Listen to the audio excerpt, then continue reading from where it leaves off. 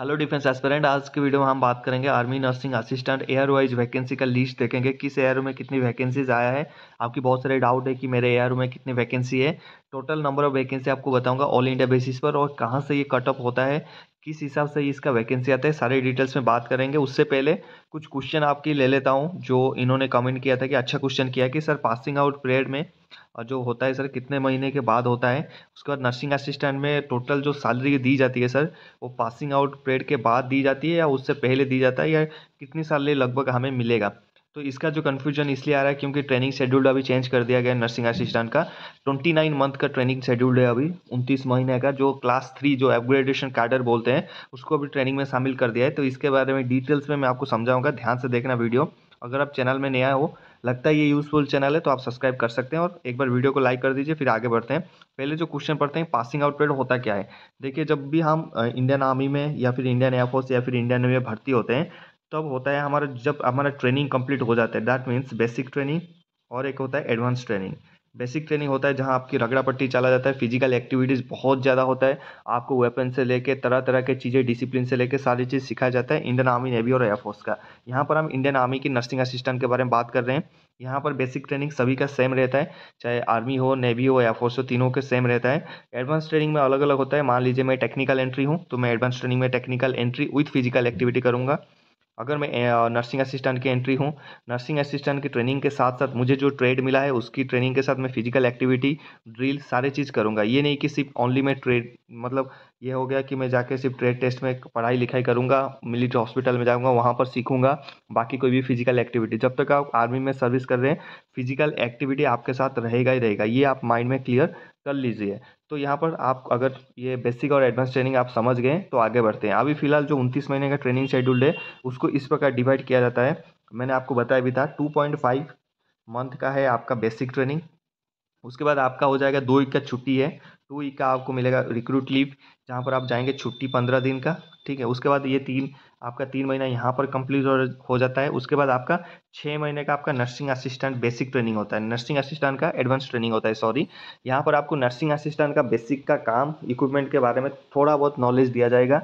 उसके बाद जो पहले जो होता था ढाई साल का ट्रेनिंग उसमें जो दो साल का जो बाकी ट्रेनिंग इसके बाद आपका पासिंग आउट पीरियड करवा दिया जाता है पीओपी पासिंग आउट पीरियड क्या होता है? पासिंग आउट पीरियड होता है जहाँ पर आप एक सोल्जर बनते हो। आप जिस दिन एंट्री करते हो, आपको लगता है कि आप आर्मी में एंट्री करके तो बहुत गलत सोच रहे हो, गलत सोच रहे हो। अगर आपको ये पता है तो दिमाग में निकाल दीजिए, जब तक आप ट्रेनिंग कंप्लीट करके शपथ ग्रहण नहीं करते हो, जब तक आप शपथ नहीं लेते हो पीओपी परेड में शामिल नहीं होते हो, आपके नाम वहाँ नहीं जाता है।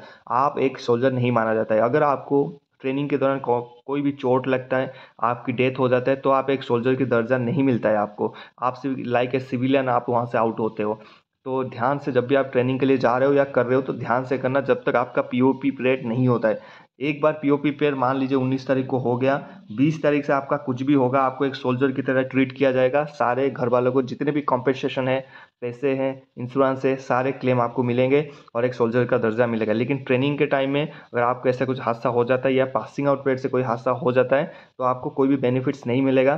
तो ध्यान से ट्रेनिंग करना, बढ़िया से मेहनत से ट्रेनिंग करना और खुद की ध्यान रखना, साथ में अपने साथियों का भी ध्यान रखना। चलिए यहाँ पर अगर मैं नर्सिंग असिस्टेंट की बात करूँ तो आपका हो गया ये नौ महीने का ट्रेनिंग हो गया। उसके बाद आपका एक डेढ़ महीना वहाँ पर लग जाता है। आपकी पासिंग आउट पीरियड आपकी स्क्वाडन का अगर कंप्लीट हो जाए, ये नहीं कि आपका एक बार में पासिंग आउट पीरियड हो जाए। उधर रुकता है, कम से कम दस स्क्वाड बीस स्क्वाड जब भी हो जाते हैं, उनकी ट्रेनिंग कंप्लीट उसके बाद पासिंग आउट पीरियड होता है। वहाँ पर देखा होगा आपने सभी सोल्जर्स की पासिंग आउट पीरियड जहाँ पर लेफ्टिनेंट जनरल जनरल भी आते हैं, आप शपथ लेते हो उस दिन की मतलब मैं देश के साथ क्या क्या काम करूँगा और कैसे आप काम करेंगे, ये आप एक उस दिन वर्दी पहनने के लायक हो जाते हो, ठीक है? उस दिन। तो इस हिसाब से हम दस महीना कैलकुलेट करके यहाँ पर चलेंगे। हमारे दस महीने में पीओपी पीरियड होगा। तो ट्रेनिंग में कितना पैसा हमारा मिलता है? ट्रेनिंग में हमारे को मिल रहा है अभी बारह हज़ार सौ रुपये जिसको हम स्टाइपेंट के नाम पे जाना जाता है। क्या बोलते हैं? स्टाइपेंट ये बारह हज़ार सौ रुपये आपकी फ़िक्स नहीं है। आपको हर महीना तीस हज़ार की स्टार्टिंग पेमेंट मिलता है नर्सिंग असिस्टेंट में, जिसमें आपको बारह हज़ार सौ रुपये आपको हर महीना मिल रहा है। यानी आपको तीस हज़ार एक्चुअली में तीस हज़ार मिल रहा है, लेकिन गवर्नमेंट आपको काट के रख लेता है वो पैसा। क्यों काटता है? इसका एक रीज़न भी आपको बता ही देता हूँ, जब वीडियो बना ही रहा हूँ। इसका एक रीज़न ये मान लो आपने पहले जैसे होता था छः महीने का ट्रेनिंग किया। यहाँ पर आप भाग गए, ठीक है? आप भगोड़े हो गए सेना से भाग गए। तो आपने जितने बुलेट्स खर्चा किया, जितने राशन फौज की खाया आपने, उसके बाद जितना आपने उनकी क्लॉथेस वगैरह यूनिफॉर्म यूज़ किया, जो गवर्नमेंट की तरफ़ से मिलता है, उसकी खर्चा कौन देगा? एक सोल्जर को बेसिक ट्रेनिंग करवाने में सिक्स सिक्स मंथ का ट्रेनिंग करवाने के लिए कम से कम छब्बीस लाख रुपया खर्चा होता है। ट्वेंटी सिक्स लाख रुपया का खर्चा होता है, ठीक है? तो यहाँ पर ट्वेंटी सिक्स लाख का कुछ ना कुछ उनके पास बचेगा। बाकी आपसे एक्चुअली में तो रूल सही है कि आप पे करोगे उनको। लेकिन कोई करता है, कोई नहीं करता, बात अलग है, उस टॉपिक में नहीं जाएँगे। लेकिन आपको रीज़न पता होना चाहिए क्यों काटता है। इसलिए काट के रखता है वो कि ट्रेनिंग में अगर आप कल भाग गए तो कुछ पैसा तो एडजस्ट हो ही जाएगा। तो इसीलिए आपका जो बाकी का अट्ठारह क्योंकि तीस हज़ार आपका पेमेंट मिल रहा है, बारह हज़ार आपको मिल ही रहा है। तो अट्ठारह हज़ार आपकी बच गया। तो ये अट्ठारह हज़ार आपकी जिस दिन पीओपी हो जाता है पासिंग आउट पीरियड हो जाता है, उसकी तीन महीने के बाद, एक नाइन्टी डेज़ का पीरियड होता है। ये नहीं कि मैं बिल्कुल नाइन्टी डेज़ बोल रहा हूँ तो मतलब नाइन्टी डेज़ के अंदर ही आता है। नाइन्टी नाइन परसेंट केसेस में नाइन्टी डेज़ के अंदर आ जाता है। वन परसेंट चार महीना भी कभी कभी ले लेता है, ठीक है? तो तीन महीना अगर हम मान के चलें तो आपकी जो पैसा आएगा ये आपका आएगा। पहले ये जो आपके टोटल दस महीने का आपने ट्रेनिंग लिया था अट्ठारह हज़ार के हिसाब से एक लाख अस्सी हज़ार आपका एक साथ आएगा। ये कब आएगा? आपकी पोस्टिंग जाने के बाद तीन महीने के बाद आ जाएगा। मतलब पासिंग आउट पर दसवें महीने में हुआ मतलब उसके बाद चौदहवा महीने में आपका ये पेमेंट आएगा एक लाख अस्सी हज़ार। लेकिन आप बोलोगे, सर, ये जो चार महीने का, ये कब आएगा? ये फिर दोबारा आएगा आपका पे जो चार महीने का आपका बचा होगा यहाँ पर जैसे आपका पासिंग आउट पेड हो जाता है ना नेक्स्ट महीने से आपकी starting salary thirty five thousand हो जाता है। ये फुल अकाउंट में आपकी सैलरी आता है। चाहे आपकी पोस्टिंग आए, आप सेंटर में ही, उधर एम सेंटर में पड़े हो, आपकी पोस्टिंग नहीं आए, आप छुट्टी चले गए, कुछ भी हो जाए, आपकी पासिंग आउट पीरियड हो गया, अगले महीने से आपकी फुल पेमेंट आना शुरू हो जाता है। आप एक सोल्जर माना जाता है। एज़ पर वीडियो जैसे मैं आपको बताया हूँ, अगर आपने वीडियो पूरा देखा है तो। तो पैंतीस हज़ार रुपये आपकी पर मंथ आएगा। उसके साथ अदर फैसिलिटीज़ भी आपके साथ जुड़ जाएगा।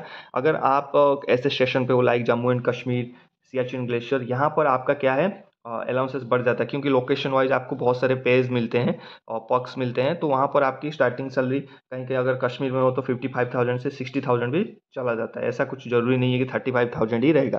तो मेरा समझाने का मतलब यही है, आपकी जो सैलरी है वो पहले से एक दिन, जिस दिन आपने ज्वाइन किया ना, उसी दिन तीस हज़ार हो चुका है।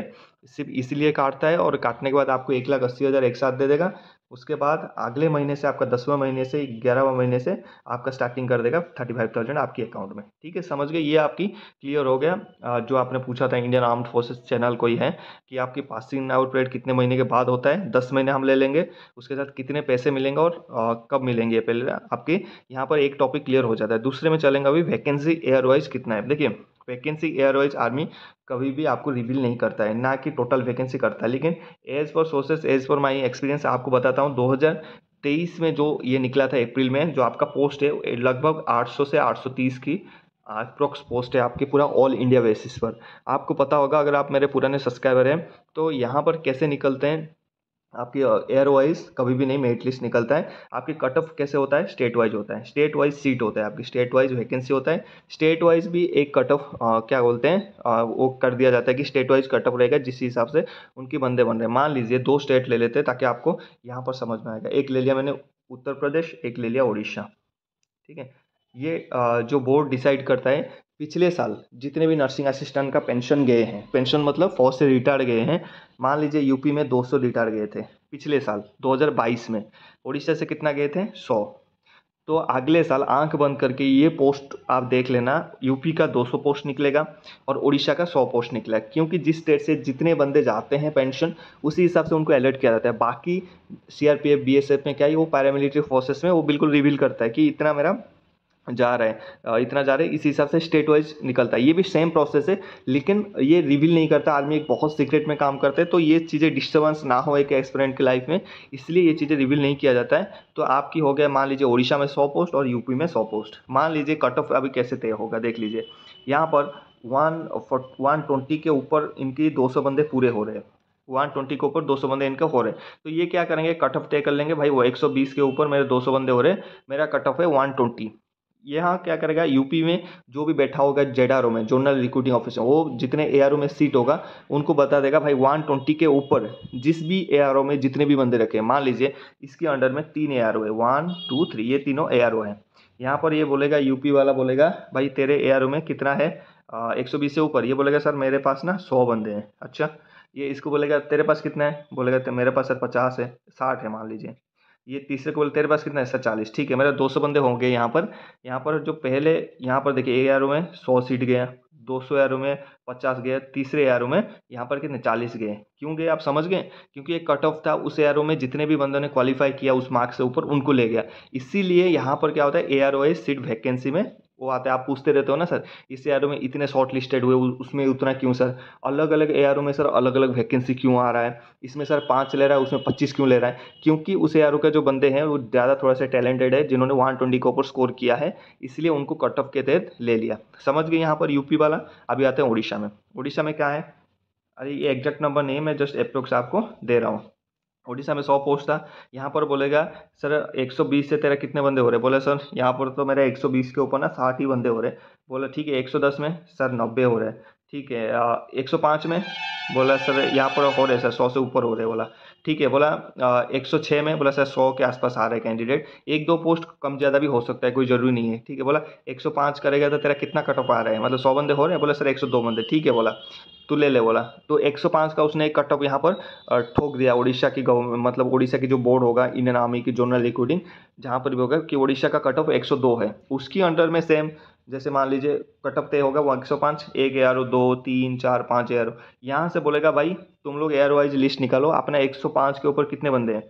कि, किस किस का कितने कितने बंदे हैं? निकाल दिया यहाँ पर इसका निकाल दिया इसका निकाल दिया। होना सौ है क्योंकि उन्होंने पहले ही कैलकुलेट कर लिया अगर हम 105 के ऊपर जा रहे हैं उड़ीसा में तो हमारे सौ बंदे हो रहे हैं या 107 बंदे हो रहे हैं या फिर 102 बंदे हो रहे हैं या 98 बंदे हो रहे हैं। इतना होता है गैप में।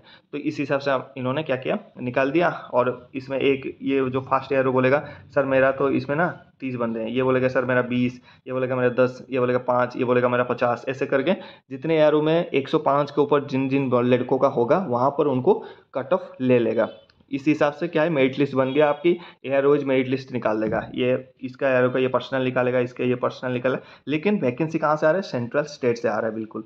ठीक है? स्टेट वाइज वैकेंसी है। लेकिन इसका एक ट्रिक है वो ट्रिक है कि शॉर्ट लिस्टिंग आपके जितने भी होते हैं कैंडिडेट अगर वो आप मुझे कमेंट करके बताएँगे और आप ए बताएँगे, दो चीज़ें आपको मेरे को बताना पड़ेगा, आपके शॉर्ट लिस्टेड कैंडिडेट कितने हैं जो रेटिन में, उसके बाद आप कौन से एआरओ के हैं, और स्टेट तो मैं पता कर ही लूँगा, अगर आप स्टेट लिखते हो तो बहुत अच्छी बात है आपका, अगर आप ये मुझे नीचे कॉमेंट करके बताएँगे तो मैं आपको एग्जैक्ट नंबर तो नहीं बता सकता कि सौ पोस्ट है, लेकिन आपको एस के साथ हंड्रेड ये बता सकता हूँ कि नाइन्टी या फिर वन पोस्ट है मतलब एक दो पोस्ट का फ़र्क होगा मुश्किल से मुश्किल से मतलब नाइन्टी परसेंट चांस है यही होगा। एक परसेंट चांस ऊपर नीचे हो सकता है, लेकिन अगर आप मुझे ये तीनों चीज़ों कमेंट करके बताएँगे, अगर आपको ये डाउट हो रहा है कट ऑफ़ भी कितना जाएगा, उसका भी डाउट है नीचे कमेंट कर लेना, मैं आपको रिप्लाई कर दूँगा, बता दूँगा। बहुत लोगों ने मुझे कमेंट किया, मैं सीधा बोलता हूँ कि आप यूनिफॉर्म सिलवा लो। इसका मतलब उनकी कन्फर्म है सीट और वो अभी टेंशन लेने की ज़रूरत नहीं, उन्होंने सिर्फ़ फ़िज़िकल निकालना है, और सीधे लखनऊ सेंटर में पहुँच जाना है। नौ महीने की ट्रेनिंग के लिए। आई होप इस वीडियो में आपको बहुत वैल्यू मिला होगा कुछ जाने के लिए, सीखने के लिए मिला होगा। वीडियो को लाइक करके जाना और अपनी कोई भी डाउट है, नीचे कमेंट करना। मिलते हैं नेक्स्ट टॉपिक में। जय हिंद हैप्पी यूनिफॉर्म